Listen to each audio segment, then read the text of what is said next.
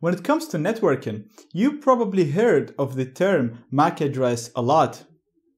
So in this lecture, I'm to cover what do we mean by MAC address, what it's used for, and how to change it.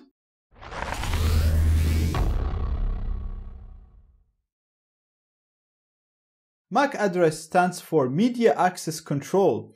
It's a permanent physical and unique address assigned to network interfaces by the device manufacturer.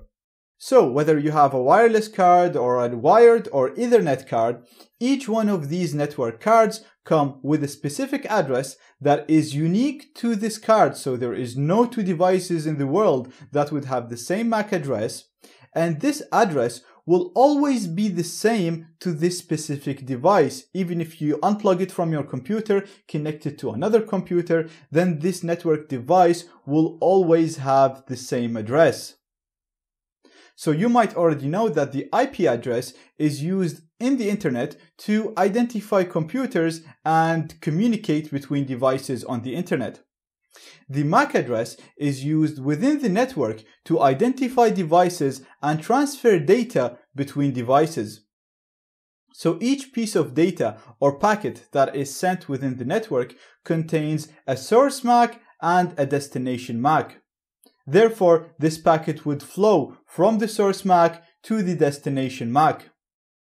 So, because this is a physical unique address to each interface, to each network device, and because it is used to identify devices, then changing it will make you anonymous on the network.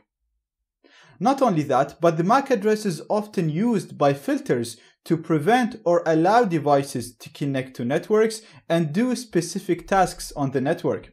So being able to change your MAC address to another device's MAC address will allow you to impersonate this device and allow you to do things that you might not be able to do. So you'd be able to bypass filters or connect to networks that only specific devices with specific MAC addresses can connect to, and you will also be able to hide your identity.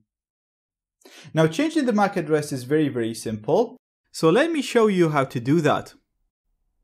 First of all, I'm going to use the ifconfig command to list all the network interfaces available on my Kali machine.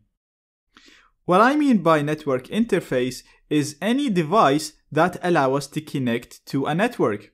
So an example is a Wi-Fi card or an Ethernet card and so on.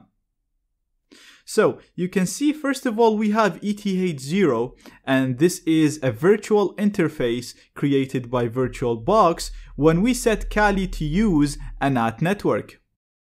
So you can see the interface name is ETH0. You can see it has an IP address because like I said it's connected to a network. So if we go here we can see it's saying wired connected. So this is the interface that represents the wired network that Kali is connected to, which is actually a virtual NAT network. You can also see the net mask, the broadcast, and a really important piece of information, which is the ether. This is the MAC address of this virtual interface. Now you can see similar information for my other two interfaces, the ELO and the LAN 0. The only thing is you can see for both of these interfaces, we do not have an IP address. And the main reason for that is because none of these interfaces is connected to a network. Now ELO is a default interface created by Linux and LAN 0 is my real wireless adapter, so I can use it to connect to Wi-Fi networks. But if I go on the network in here, you'll see Wi-Fi is not connected because I actually didn't connect to any network and that's why it does not have an IP address. Now this doesn't matter because what we want to do is to just change the MAC address which again is shown here under the ether part. So similar to what you're seeing here for ETH0. Now, in order to change any of the values that you see in here, you have to first disable the interface. So, in this example, we want to change the MAC address. So that is represented by the ether and the value is right here. So in order to disable an interface, we're gonna do ifconfig, followed by the interface name, which is LAN0 in my example, followed by down to disable it. Now, if I hit enter, you'll see the command runs with no errors, so it means that it got executed properly. And the next thing that we need to do is to change the option that we want to change. And in this example, we want to change the ether, which is the MAC address.